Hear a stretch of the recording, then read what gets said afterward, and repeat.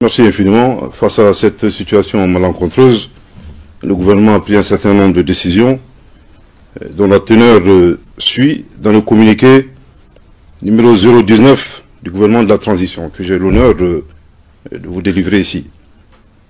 Le gouvernement de la République du Mali prend acte de la décision unilatérale du 17 février 2022 des autorités françaises de procéder au retrait des forces militaires de Barkhane et de Takuba en violation des accords liant la France et le Mali et impliquant d'autres partenaires.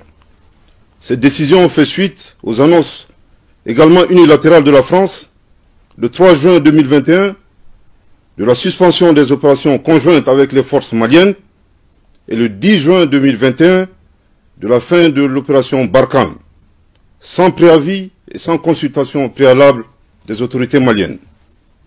Ces décisions unilatérales constituent des violations flagrantes du cadre juridique liant la France et le Mali. Le gouvernement rappelle que par rapport aux résultats attendus, les résultats obtenus et annoncés officiellement par les autorités françaises n'ont pas été satisfaisants.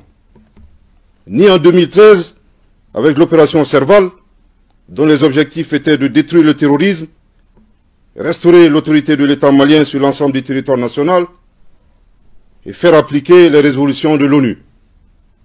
Ni en 2016, avec l'opération Barkhane, dont les objectifs étaient de lutter contre le terrorisme, aider à faire monter en puissance l'armée malienne et intervenir en faveur des populations.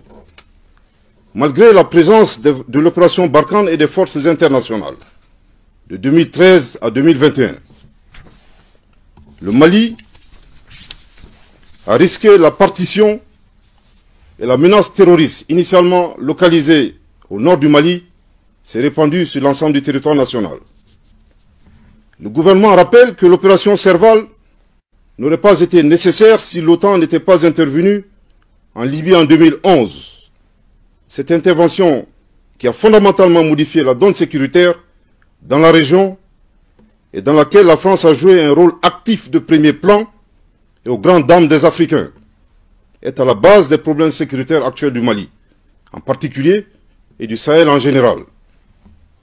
Contrairement aux allégations relatives à la dégradation de la situation sécuritaire, les autorités de la transition, dans l'exercice de leurs droits souverains, ont entrepris des actions volontaristes pour diversifier les partenariats, consenti d'énormes efforts, permettant ainsi la montée en puissance des forces armées maliennes et l'amélioration significative de la situation sécuritaire sur le terrain depuis six mois, notamment en vue de créer les conditions sécuritaires pour la tenue d'élections. En outre, pour un retour rapide à l'ordre constitutionnel, le gouvernement du Mali a mis en place un mécanisme de concertation visant à adopter un chronogramme consensuel en rapport avec la CDAO, l'Union africaine, les Nations unies et certains pays de la région. Au regard de ces manquements répétés des accords de défense, le gouvernement invite les autorités françaises à retirer sans délai les forces Barkhane et Takuba du territoire national sous la supervision des autorités maliennes. Je répète, au regard de ces manquements répétés des accords de défense, le gouvernement invite les autorités françaises à retirer sans délai les forces Barkhane et Takuba du territoire national sous la supervision des autorités maliennes. Je répète une dernière fois. Au regard de ces manquements répétés des accords de défense, le gouvernement invite les autorités françaises à retirer sans délai les forces Barkhane et Takuba du territoire national sous la supervision des autorités maliennes. Le gouvernement exhorte nos vaillantes forces armées et de sécurité nationale à plus d'engagement, de vigilance et de détermination dans l'accomplissement de leur mission de défense de l'intégrité territoriale et de sécurisation des personnes et des biens.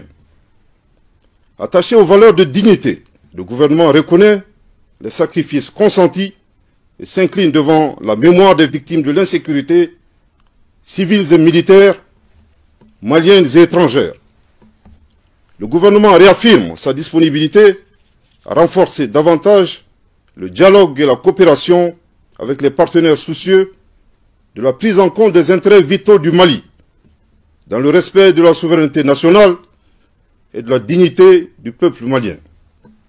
Le gouvernement du Mali appelle la population à rester sereine et vigilante et prend l'engagement que toutes les dispositions sont prises pour garantir la sécurité.